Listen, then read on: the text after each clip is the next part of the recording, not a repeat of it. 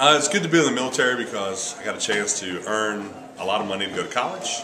I got to see a lot of places I never would have seen. Got to meet a lot of people I never would have met. Made some very good friends. Okay, the countries that I have been to was France, Italy, Tunisia, Egypt, Libya. Uh, where else? Israel. I have been to China, England, Mexico, Jamaica. Been to the Bahamas. I've been to Aruba, Curacao, Bonaire. I've been to Singapore. I've been to Thailand. Uh, those are the ones I can remember off the top of my head.